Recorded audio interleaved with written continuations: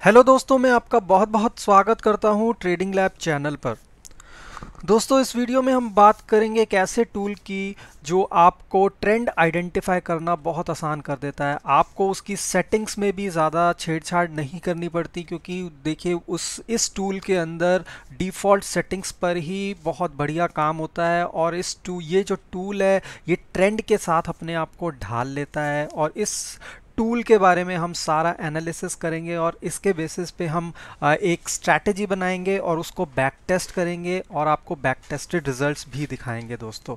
तो दोस्तों इस टूल का नाम है दोस्तों मैकिनले डायनेमिक अगर मैकिनले डायनेमिक आपने आ, सुना है पहले से जो लोग वाकिफ़ हैं तो मैकिनले डायनेमिक दोस्तों एक बहुत ही रिलायबल इंडिकेटर है बहुत ही रिलायबल और आ, ये मैकिनले डायनेमिक आपका जो मूविंग एवरेजेस का काम है ये दोस्तों ये बहुत आसान कर देता है। अगर आपने कभी भी मूविंग एवरेज यूज़ की हो कभी भी आप चार्ट पे गए हों और चार्ट पे आपने कभी मूविंग एवरेजेस प्लॉट की हों तो आपको ये परेशानी ज़रूर आई होगी कि आप कौन सी मूविंग एवरेज यूज़ करें दोस्तों, क्योंकि आप जब भी स्टडीज़ में जाते हैं और मूविंग एवरेज टाइप करते हैं तो आपके सामने एक पीरियड आपको मूविंग एवरेज का स्पेसिफाई करना होता है। कोई कहता है ट्वेंटी पीरियड की मूविंग एवरेज यूज़ कीजिए, कोई कहता है फिफ्टी पीरियड की मूविंग एवरेज यूज़ कीजिए, और इतने सारे पीरियड होते हैं कि आपको आइडेंटिफाई करना बहुत मुश्किल हो जाता है कि कौन सी मूविंग एवरेज का पीरियड कौन से वाली मार्केट में अप्लाई होगा। जब मार्केट बहुत ज़्यादा ट्रेंडिंग है, तब कौन सी मूविंग एवरेज यूज़ करनी है? जब मार्केट बहुत ज़्यादा साइडवेज है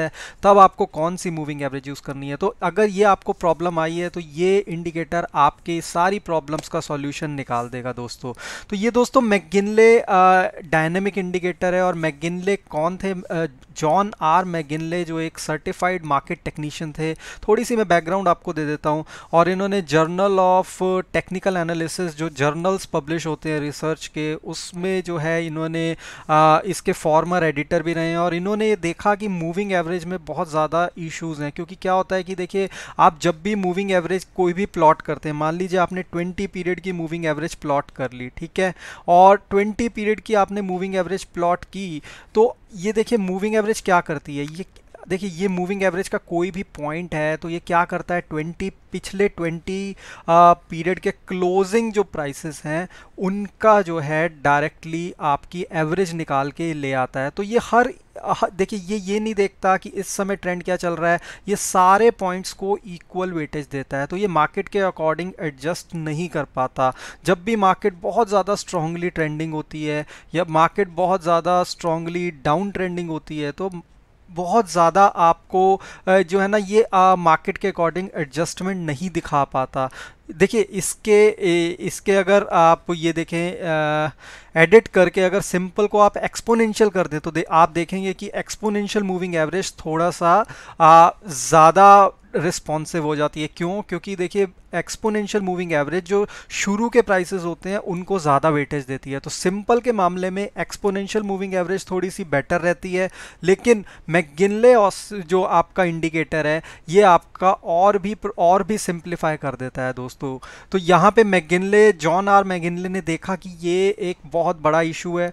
कि 10 पीरियड की मूविंग एवरेज लगाएँ या 20 पीरियड की लगाएँ, कौन से वाली मूविंग एवरेज बेटर काम करती है? कभी होता है कि कोई किसी स्टॉक पे कोई पर्टिकुलर मूविंग एवरेज सही काम कर रही है, किसी स्टॉक पे कोई दूसरी पर्टिकुलर मूविंग एवरेज काम कर रही है तो क्यों ना एक ऐसा टूल बना दिया जाए जो अपने आप मार्केट की कंडीशन के अकॉर्डिंग एडजस्ट कर ले। आपको वो एडजस्टमेंट्स ना करनी पड़े ट्रेंड को देख के कि कौन सी मूविंग एवरेज इस पर सही काम कर रही है।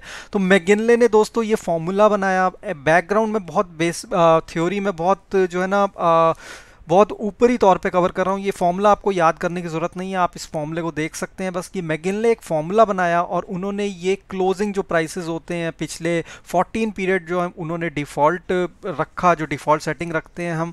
और यहाँ पे उन्होंने इस फॉर्मूले को को बेसिक बना के और यहाँ पे उन्होंने देखिए मूविंग एवरेज को यूज़ किया इसको और सॉफ्ट करने के लिए। तो यहाँ पे उन्होंने इसको यूज़ किया और उन्होंने देखिए पहले बताया कि जो सिंपल और एक्सपोनेंशियल मूविंग एवरेज होती है, उनके उसमें क्या डिफरेंस होता है और मैगिनले जो आपका जो इंडिकेटर वो बना रहे हैं, उसमें क्या डिफरेंस है? क्योंकि देखिए सिंपल मूविंग एवरेज आपकी टेन पीरियड ट्वेंटी पीरियड इस पर जो है इक्वल वेटेज देती चलती है। एक्सपोनेंशियल मूविंग एवरेज कहीं ना कहीं आपका ये काम आसान आसान कर देती है। तो उन्होंने यही चीज़ अपने जो है ना इसी चीज़ को, जो बेस बनाया और इस चीज़ को सॉल्यूशन निकालने के लिए ये मैगिनले जो इंडिकेटर है, इसको बनाया। तो यहाँ पे दोस्तों मैगिनले जो आप इंडिकेटर अगर आपको लगाना है तो यहाँ पे दोस्तों यहाँ पे ज़ीरोधा में अगर आप जाएँगे तो ज़ीरोधा में डायरेक्टली आप ये नहीं लगा सकते। आपको माई प्रोफ़ाइल में जाना पड़ेगा और माई प्रोफ़ाइल में चार्ट टाइप जो है दोस्तों, यहाँ पे चार्ट आईक्यू के डिफ़ॉल्ट चार्ट आ रहे होते हैं तो आपको ट्रेडिंग व्यू के चार्ट्स जो है यहाँ सेलेक्ट करने पड़ेंगे और यहाँ पे इसको एक बार रिफ़्रेश करना पड़ेगा और यहाँ पे जाना पड़ेगा, इसको बंद कर दीजिए और दोबारा आपको कोई भी चार्ट पॉपअप करना पड़ेगा। तो यहाँ पे दोबारा चार्ट कोई भी पॉपअप करेंगे तो आपके पास ट्रेडिंग व्यू के देखिए चार्ट्स चेंज होके आ गए हैं। इसको आप वापस पॉपअप कर लेंगे रिफ़्रेश करके तो आपके पास ये ट्रेडिंग व्यू के चार्ट्स आने लग जाएँगे। और यहाँ पे दोस्तों आपको जाना है इंडिकेटर्स में, जिसमें आपको लगाना है मैकिनले डायनेमिक तो मैकिनले डायनेमिक आपने लगा लिया और मैकिनले डायनेमिक कुछ एक तरह से देखिए मूविंग एवरेज की तरह ही दिखता है आपको। देखिए आप देख पाएँगे, ये मैकिनले डायनेमिक मैंने 14 पीरियड का लगाया है और इसमें अगर आप देखिए, मैं इसका स्टाइलिंग थोड़ी चेंज कर देता हूँ, इसका कलर जो है रेड कर देता हूँ और इसको जो है थोड़ा डार्क कर देते हैं और ओके कर देते हैं। तो आप देखेंगे, ये रेड लाइन जो है मैगिनले डायनेमिक है। और जब भी देखिए, यहाँ आप देख पाएँगे जब भी डाउन ट्रेंड आता है तो ये डाउन ट्रेंड में बहुत ज़्यादा तेज़ी से रिएक्ट करता है प्राइसेस के साथ। और ये प्राइसेस के साथ रिएक्ट करके आपको पहले ही बता देता है, इसमें कि डाउन ट्रेंड आ गया और जब अप ट्रेंड आता है तो ये बहुत स्लोली स्लोली चलता है ऊपर की तरफ़। और ये इसलिए चलता है क्योंकि दोस्तों आ, जो अप ट्रेंड होता है अप ट्रेंड में वॉलीटिलिटी ज़्यादा होती है तो आप वॉलीटिलिटी में स्टॉप डाउट ना हो जाए स्टॉप लॉस आपका हिट ना हो जाए तो इसलिए आपको वॉलेटिलिटी से दूर करने के लिए ये अप ट्रेंड में स्लोली रिएक्ट करता है और डाउन ट्रेंड में तेज़ी से रिएक्ट करता है दोस्तों। तो यहाँ पे दोस्तों अगर आप मूविंग एवरेज लगाएँगे मैं आपको मूविंग एवरेज भी लगा के दिखा देता हूँ। अगर आप यहाँ पे मूविंग एवरेज लगाएँगे और मूविंग एवरेज यहाँ पे बाय डिफ़ॉल्ट आप देखेंगे यहाँ पे मैंने मूविंग एवरेज लगाई है ट्वेंटी पीरियड की और ये क्लोजिंग प्राइस पे लगाई है और इसको मैंने, इसकी स्टाइलिंग भी मैं चेंज कर देता हूँ, इसका कलर मैं यहाँ पे ब्लैक कर देता हूँ और इसको यहाँ ज़्यादा डार्क कर देता हूँ और ओके कर देता हूँ। तो आप देख पाएँगे कि मैगिन जब भी डाउन ट्रेंड आता है तो आपका, आपकी जो मूविंग एवरेज है वो बहुत देरी लगाती है रिएक्ट करने में। मतलब ये है कि वो आपको सिग्नल देने में काफ़ी ज़्यादा टाइम लगा रही है, लेकिन जो आपका मैगिनले है, वो आपको जल्दी सिग्नल दे देता है। और ऐसे ही आप देख पाएँगे कि ऊपर की तरफ़ भी मैगिनले ज़्यादा जल्दी रिएक्ट करता है और मूविंग एवरेज कम देरी से रिएक्ट करती है। तो ये आपका ये आ, ये आपका जो मूविंग एवरेज वाली प्रॉब्लम है ये आ, आपका इंडिकेटर आपकी यहाँ पे सॉल्व कर देता है। इसके ऊपर दोस्तों बहुत सारी स्ट्रैटेजीज़ हैं। आप चाहें तो इसको किसी भी इंडिकेटर ऑसिलेटर के साथ कंबाइन कर सकते हैं। जो भी आपको अच्छा लगता हो तो यहाँ पे आप इसको RSI ले लीजिए MACD ले लीजिए या फिर स्टोकेस्टिक ले लीजिए। मैं यहाँ पर देखिए मूविंग एवरेज हटा देता हूँ और आपको एक सैम सैंपल के तौर पर एम के साथ इसको कंबाइन करके दिखा देता हूँ। तो यहाँ पे अगर आप देखेंगे तो एम के अकॉर्डिंग अगर आप देखेंगे तो यहाँ पे देखिए जब भी एम के आपको सिग्नल्स पिक करने होते हैं तो देखिए यहाँ पे जब नेगेटिव टेरिटरी में क्रॉस आता है, आप देख पाएँगे कि नेगेटिव टेरिटरी में ये क्रॉस आता है तो ये ये क्रॉसओवर पिक करना है आपको तो देखिए सिंपल रूल होता है कि जब भी प्राइस मैगिनले को क्रॉस करके मैगिनले डायनेमिक को क्रॉस करके ऊपर की तरफ़ जाता है तो आपका अप ट्रेंड स्टार्ट हो जाता है और यहाँ पे जब भी ये टच डाउन करता है और यहाँ क्रॉस ओवर आता है तो आप ये सिग्नल पिक कर सकते हैं। और जब भी डाउन ट्रेंड आता है तो आपको देखिए पॉजिटिव टेरिटरी में देखिए मैं एक बार इसको क्लियर कर देता हूँ। और जब भी डाउन ट्रेंड आता है, अगर आप देखेंगे डाउन ट्रेंड में अगर आपने सिग्नल्स पिक करने हैं तो डाउन ट्रेंड में देखिए यहाँ पे डाउन ट्रेंड में सिग्नल पिक करने हैं। तो सिंपल देखिए दो चीज़ों को हमने कंबाइन करना है। हमने हमने सिर्फ़ एम के सिग्नल्स पिक नहीं करने हैं। तो यहाँ पर आप देखेंगे कि ये वाला सिग्नल आया। और देखिए इसको मैं थोड़ा सा कलर इसका वो कर देता हूँ। देखिए, यहाँ पे ये वाला सिग्नल जो आता है और आपका यहाँ से देखिए, ये क्रॉसओवर आया, ये पिक कर सकते हैं आप और इस पूरे ट्रेंड को यहाँ तक राइड कर सकते हैं और जब वापस जब वापस ये क्रॉस करके मैगिनले को ऊपर की तरफ़ जाता है तो आप यहाँ से एग्जिट हो सकते हैं। ये बेसिक बेसिक स्ट्रैटेजी है, आप इसको एमएसीडी नहीं तो आप जो भी जो है इंडिकेटर या ऑसिलेटर यूज़ करते हो, आप उसके साथ यहाँ पे कंबाइन करके इसको देख सकते हैं और इसको अप्लाई कर सकते हैं। तो डायरेक्टली दोस्तों यहाँ पे हम आपके लिए स्ट्रीक पर चलेंगे और स्ट्रीक पर इस एक बेसिक स्ट्रैटेजी बनाएँगे और स्ट्रीक पर उसका बैक टेस्ट करके देखेंगे कुछ स्टॉक्स पे और देखेंगे कि ये वाली स्ट्रैटेजी बेसिक तौर पे डेली चार्ट कैसा परफॉर्म करती सकती है। तो दोस्तों अगर आप स्ट्रीक में आ, को यूज़ करना चाहते हैं तो आपके पास ज़ीरोधा अकाउंट होना चाहिए। और आजकल इसमें दोस्तों आप काफ़ी सारे ब्रोकर्स और आ गए हैं। ब्रोकर्स की लिस्ट आपको डायरेक्टली जहाँ लॉग कर रहे होंगे वहाँ पर मिल जाएगी। और यहाँ पर अगर आपके पास ज़ीरोधा अकाउंट नहीं है तो इस वीडियो के डिस्क्रिप्शन में मैंने लिंक पेस्ट कर दिया है, आप उस लिंक पे क्लिक करके अपना ज़ीरोधा अकाउंट ओपन कर सकते हैं। तो यहाँ पे दोस्तों हम स्ट्रैटेजीज़ पे जाएँगे और क्रिएट करेंगे एक स्ट्रैटेजी, और देखिए यहाँ क्रिएट स्ट्रैटेजी के बाद आपको सबसे पहली चीज़ होती है स्क्रिप्ट्स देनी होती है। तो यहाँ पे हम कुछ स्टॉक्स ऐड करेंगे, जैसे कि मैं ऐड करता हूँ यहाँ पे बजाज फाइनेंस और कुछ जो निफ्टी के स्टॉक्स हैं, पॉपुलर स्टॉक्स, उन्हीं पे ये स्ट्रैटेजी हम बैक टेस्ट करेंगे। यहाँ पे मैंने किया एसबीआई और मैं यहाँ पे करूँगा एच लाइफ जो कि लाइफ इंश्योरेंस का बहुत अच्छा स्टॉक है। उसके बाद हम कुछ यहाँ पे फाइनेंस के स्टॉक्स लेंगे जिससे कि मेरा मोस्ट फेवरेट स्टॉक है एस आर ट्रांसफिन ये मैंने ले लिया है। उसके बाद हम कुछ आईटी के स्टॉक्स लेंगे जैसे टेककेम ले लेते हैं इन्फी ले लेते हैं जो मोस्ट पॉपुलर स्टॉक्स हैं उन पे ही हम इसको आ, जो है क्योंकि देखिए ये ऐसे स्टॉक्स हैं जिनमें लिक्विडिटी बहुत ज़्यादा होती है तो कोई भी स्ट्रैटेजी आप टेस्ट करते हैं तो उसके लिए आपके पास वॉल्यूम्स और लिक्विडिटी होना बहुत ज़रूरी होता है। और यहाँ पर मैंने टीसीएस भी ले लिया मारुति भी ले लिया और काफ़ी सारे यहाँ पर स्टॉक्स जो है मैंने ले लिए। तो यहाँ पे आप और स्टॉक्स भी ले सकते हैं छोटे छोटे स्टॉक्स भी ले सकते हैं, जैसे गेल हो गया ओएनजीसी हो गया ये भी जो है निफ्टी के काफ़ी अच्छे स्टॉक्स हैं। आप यहाँ पे कोई भी स्टॉक्स ले सकते हैं और अपनी बास्केट भी बना सकते हैं। तो यहाँ पे दोस्तों आपको स्विच टू एडवांस करना पड़ेगा। जब आप स्विच टू एडवांस कर देंगे तो आपके पास जो है एडवांस लेवल के जो इंडिकेटर्स हैं वो अवेलेबल हो जाएँगे। यहाँ पे आपको टाइम फ्रेम सेलेक्ट करना पड़ेगा। टाइम फ्रेम हम डेली चार्ट सेलेक्ट करेंगे कि जो डेली चार्ट है उस पर ही हमारी स्ट्रैटेजी जो है बैक टेस्ट हो। यहाँ पे क्वांटिटी आप कुछ भी रख सकते हैं। देखिए, फाइव मैंने क्वांटिटी स्पेसिफाई कर दी है और सिंपल सिंपल रूल पे हम काम करेंगे, जैसा कि हम देंगे कि क्लोजिंग प्राइस जो मेरा क्लोजिंग प्राइस है, वो मेरा क्रॉसेस अबव हो जाए, किससे दोस्तों? यहाँ पे दे देंगे मैक गिनले मैक गिनले डायनामिक दोस्तों, ये बहुत ब्यूटीफुल इंडिकेटर है और ये आपका जो मूविंग एवरेज का जो सरदर्दी है कि कौन सी मूविंग एवरेज यूज़ करनी है, ये सारा काम ये सिंप्लीफाई कर देता है आपके लिए।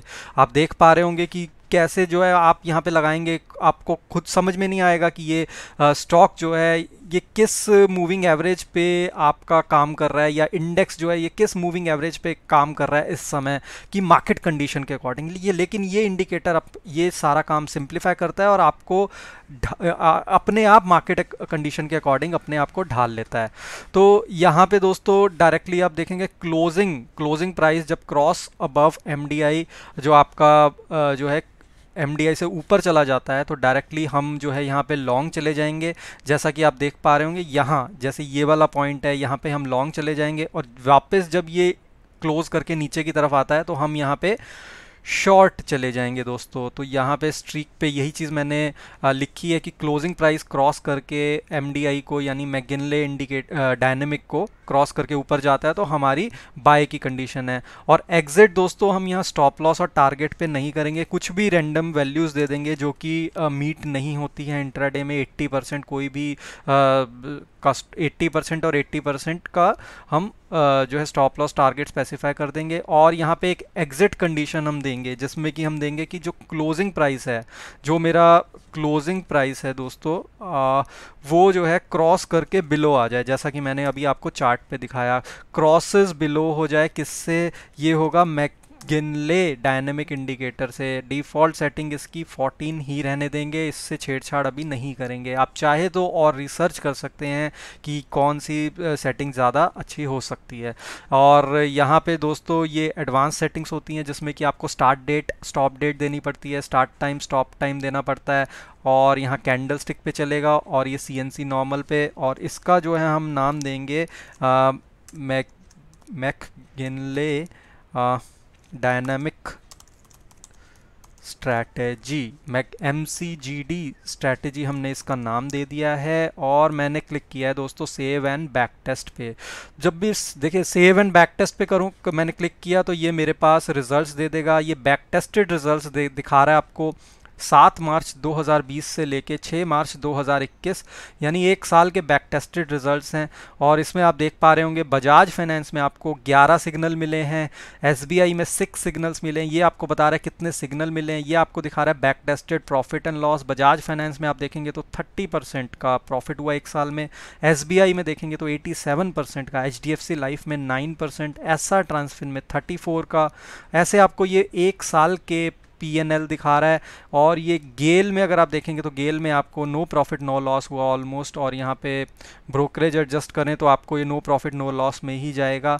तो यहाँ पे दोस्तों आप यहाँ इसका डिटेल भी देख सकते हैं कि कब आपको ये सिग्नल मिला और देखिए ट्रांजेक्शन डिटेल पे क्लिक करेंगे तो ये आपको आ, कब आपको ये सिग्नल मिला 9 अप्रैल को मिला 11 अप्रैल को एग्ज़िट हुआ जो ये सारी चीज़ें जो है एंट्री एग्ज़िट आपके सारा कुछ आपको यूँ के यूँ बैक टेस्ट करके लाइव डेटा जो है उसके ऊपर आपको दिखा देगा और ये आपको वेरीफाई कर देगा। आप चाहें तो दोस्तों और ज़्यादा इससे प्ले अराउंड कर सकते हैं, जिसमें कि आप इस स्ट्रैटेजीज में कुछ और चेंजेस कर सकते हैं कि आप और ज़्यादा इसको ऑप्टिमाइज़ करने के लिए। दोस्तों, ये मैंने एक बहुत बेसिक स्ट्रैटेजी आपको बना के दिखाई है कि कैसे आप जो है लाइव डेटा पे स्ट्रीक पे बना सकते हैं।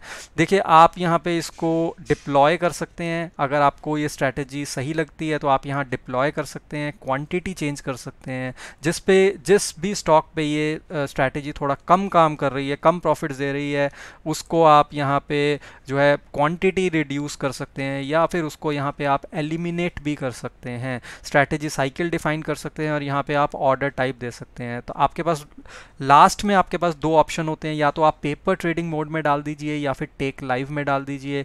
और टेक लाइव में जब आप क्लिक कर देते हैं तो आपकी ये स्ट्रैटेजी स्ट्रेटजी यहाँ पे वेटिंग स्टेट में चली जाती है और जब भी ये बाय की कंडीशन हमारी मीट होगी ट्रिगर आएगा तो आप आपको जो स्ट्रीक की वी फोर ऐप अपने मोबाइल में डाउनलोड रखनी है और गूगल प्ले से आप डाउनलोड कर सकते हैं और वहाँ पे आपके पास जो है नोटिफिकेशन आ जाता है जिसको आपको क्लिक ओके करना पड़ता है और वापस जब एग्ज़िट होगा तो आपके पास नोटिफिकेशन आ जाएगा, आपको वो भी फिर ओके करना पड़ेगा। तो ऐसे आप इस चीज़ को देखिए, जब ये वेटिंग से एंटर्ड में चला जाएगा, जब नोटिफिकेशन मीट होगा, आप इसे स्टॉप भी कर सकते हैं। तो यहाँ पर दोस्तों हमने इस वीडियो में डिस्कस किया एक बहुत ही बेहतरीन जो है इंडिकेटर मैगगिनले डायनेमिक, ये आपका जो है बहुत सारा काम आसान आसान कर देता है जैसा कि मैंने बताया जो मूविंग एवरेज की सरदर्दी है वो सारी ख़त्म कर देता है और आ, कौन सी मूविंग एवरेज लगाएँ कब किस मार्केट कंडीशन पे कौन सी मूविंग एवरेज काम करेगी ये बहुत बड़ी डिबेट रहती है। तो इस डिबेट को सारी चीज़ें ये हल करके आपको बैक टेस्ट करके हमने दिखाया दोस्तों। वीडियो अच्छा लगा है तो वीडियो को लाइक शेयर ज़रूर कीजिएगा चैनल को सब्सक्राइब कीजिएगा बेल आइकन को प्रेस कीजिएगा। थैंक यू दोस्तों।